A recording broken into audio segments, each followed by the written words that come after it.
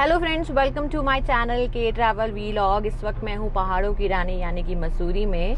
और अब हम पहले, सबसे पहले जा रहे हैं लाल टिब्बा और हमें निकलते साथ ही बहुत ज़्यादा जाम मिल गया है। मैं आपको दिखाती हूँ कि हम लोग इस वक्त पीक सीज़न में आए हैं तो क्या कहते हैं, बहुत ज़्यादा ट्रैफ़िक है और अब पूरा जो रास्ता है, वो पूरा ब्लॉक हो रखा है। रास्ता पूरा जाम है, जैसा कि आप देख रहे हो, हमारी गाड़ी भी अभी खड़ी है।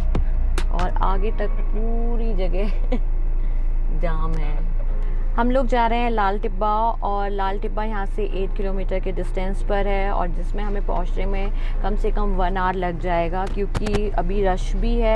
हम पीक सीज़न में आए हैं तो ट्रैफ़िक बहुत है यहाँ पर पहाड़ों में और जनरली वीकेंड के टाइम पे आ, रश हो ही जाता है। लेकिन हमारा ऑफ़ अभी पड़ा था। सैटरडे संडे आज संडे है तो क्या कहते हैं आज बहुत ज़्यादा भीड़ भी है मसूरी में। बस बस मैं रिकॉर्ड चल रहा है सब कुछ ऐसे हो रहा है। क्या बोलना है? बोलो। चलो सब्सक्राइब आप कुछ बोलो चलो।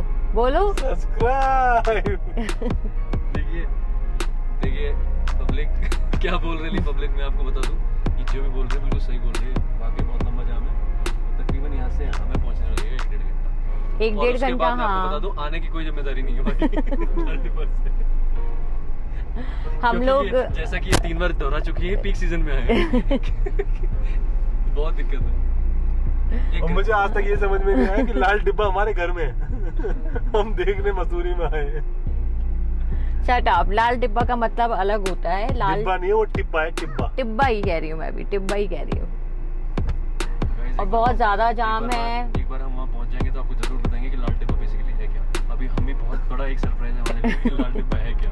जिसके लिए हम इतना ज़्यादा ट्रैफ़िक वो करके और हम जा रहे हैं। जा रहे हैं और पूरी स्टोरी भी बतानी है मुझे आपको कि कि हम सनसेट देख कर आएँगे। हाँ कि हम लोग कल रात हम पूरी तो रात रात में ड्राइव कर कर आए हैं पूरी रात हमने ड्राइव किया फिर उसके बाद जब हम सुबह यहाँ पहुँच गए तो हमें कोई होटल नहीं मिला क्योंकि हम लोग ऑनलाइन बुकिंग करके नहीं आए थे। और सभी ने हमें बोला कि आपको कम से कम 10 बजे तक वेट करना पड़ेगा लोग चेकआउट करेंगे तब जाके आपको रूम मिलेगा। इसलिए आप कभी भी वीकेंड के टाइम पर आए पीक सीज़न में आए तो अपनी ऑनलाइन बुकिंग पहले से ही कर कर आएँ। और हमारी तरह ना आए जिस तरीके से हम लोग आ गए और बड़ी मुश्किल से हमने बहुत सारे होटल ट्राई किए हमें कोई कोई भी नहीं मिला होटल। बड़ी मुश्किल से एक मिला हमें द हमारे होटल का नाम क्या है? The Burma? The Burma Palace. The Burma Palace में हम लोग रुके हैं और वहाँ पे मतलब अच्छा है ऐसा नहीं है। बहुत ज़्यादा लेविश भी नहीं है लेकिन अच्छा है वो होटल। तो हम लोगों ने वही किया। फ्रेंडली है। हाँ पॉकेट फ्रेंडली है सबसे ज़्यादा बजट का भी इशू है क्योंकि इस टाइम क्या होता है पीक सीज़न में रेट्स हाई हो जाते हैं। डबल ट्रिपल रेट्स हो जाते हैं और फिर मिलना वैसे ही मुश्किल होता है। हमारे बजट में भी नहीं आता है और हमें वो उनके रूम्स और वो होटल भी पसंद नहीं आता है। थोड़ा सा ऑफ़ रूट है लेकिन। हाँ थोड़ा सा है लेकिन ठीक हाँ। है मतलब बहुत थोड़ा सा ऑफ़ रूट है लेकिन इतना है कि आप मैनेज कर लोगे और बहुत बेहतरीन तरीके से बना हुआ है बहुत हमको तो एक स्पेसिफिक बहुत बड़ा लोकेशन मिल गया है। हाँ तो उसमें आप आराम से बालकनी एंजॉय कर सकते हो। मैं रात को शाम को हम वही चिल करेंगे अगर शाम को पहुँच गए तो। हालात ये कह रहे हैं कि रात होएगी। और ये गाड़ी जो सनसेट का माहौल है ना ये गाड़ी में से देखा जाएगा।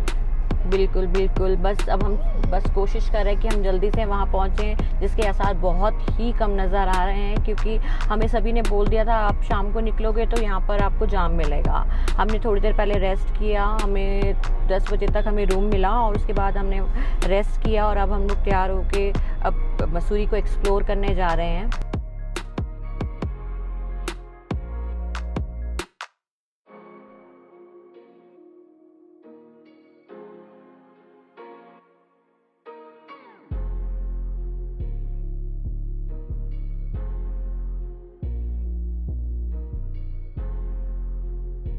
लाल टिब्बा जाने के लिए ये ट्रैक बना हुआ है। वैसे तो लाल टिब्बा पर जाने के लिए कोई टिकट नहीं लगती है, लेकिन लाल टिब्बा पर आपको ये कैफ़े मिलेगा, जिसका नाम Lal Tibba binocular and cafe है। इस कैफ़े की छत से लाल टिब्बा के आसपास का पूरा नज़ारा देखने को मिलता है। आसपास के नजारे को देखने के लिए फिफ्टी रुपीज़ देने पड़ते हैं। वो भी पर पर्सन जो आपके खाने के ऑर्डर से रिडीम हो जाता है।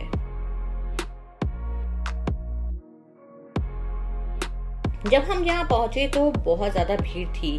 खाने के ऑर्डर में 40 मिनट्स का टाइम लग रहा था। हमने जल्दी से ऑर्डर कर दिया और तब तक हमने यहाँ के व्यू का मज़ा लिया।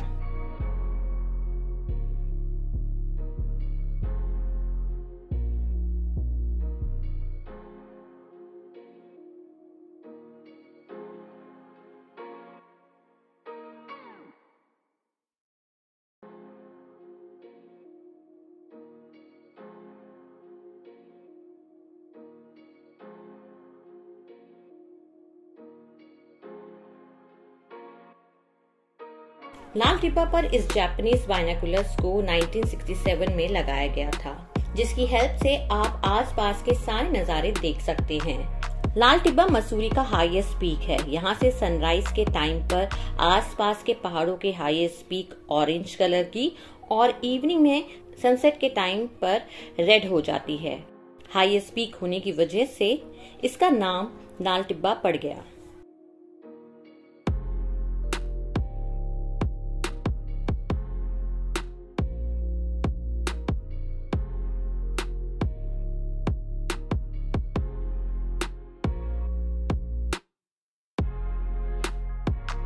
यहाँ से व्यू देखने के बाद हमारा ऑर्डर भी आ गया। हमने यहाँ का फ़ेमस सैंडविच पिज्जा ऑर्डर किया था और सोचा कि जाते वक्त चार दुकान पर कुछ और खाएँगे।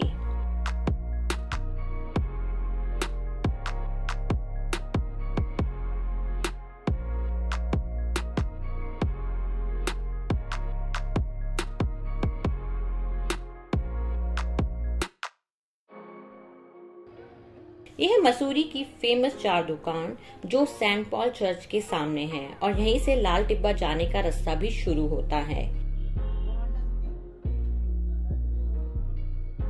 यहाँ आप पैनकेक और बनाना शेक को एंजॉय कर सकते हैं और ठंड में चाय और कॉफ़ी पीने का मज़ा ही कुछ और है। यहाँ सिर्फ़ चार दुकान है, इसलिए इस जगह को चार दुकान कहा जाता है। यहाँ पे भी हमें काफ़ी भीड़ मिली, इसलिए हमने यहाँ पर भी खाने का प्लान कैंसिल कर दिया। और सनसेट देखने के लिए हम आगे बढ़ गए।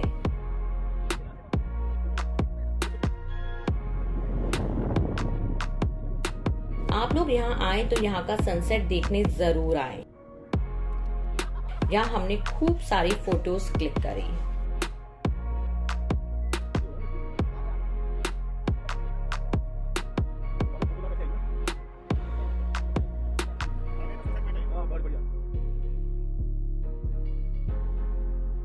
सनसेट देखने के बाद हम पहुँच गए माल रोड, ताकि यहाँ के फ़ेमस रेस्टोरेंट से डिनर कर सकें।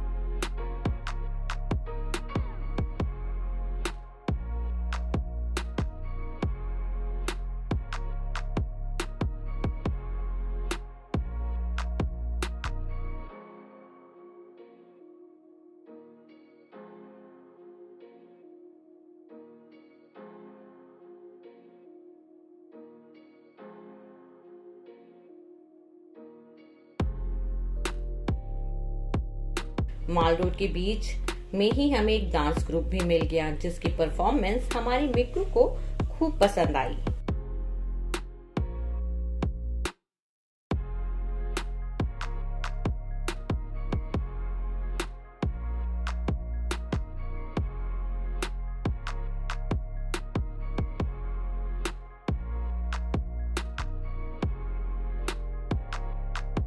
माल रोड में कार्लसन रेस्टोरेंट अपने चाइनीज़ और तिब्बतन फ़ूड के लिए काफ़ी फ़ेमस है। जब हम पहुँचे तो हमें वेटिंग का सामना करना पड़ा।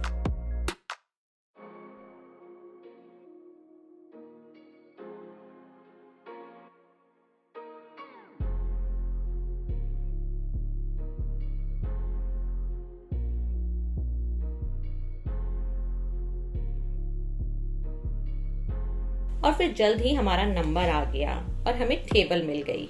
ये मसूरी का फ़ेमस रेस्टोरेंट है। यहाँ का चाइनीज़ और तिब्बतन फ़ूड आप लोगों को भी ट्राई करना चाहिए।